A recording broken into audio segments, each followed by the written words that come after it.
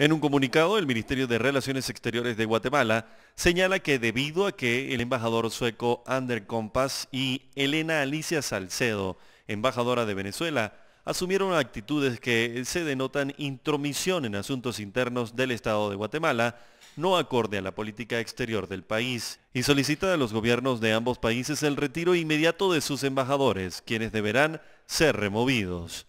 La canciller de Guatemala, Sandra Jovel, dejó claro que el problema es con los funcionarios porque emitieron opiniones violando convenios internacionales, con lo cual el gobierno de Guatemala pide a las autoridades de Venezuela y del Reino de Suecia sustituir a sus embajadores en esa nación centroamericana.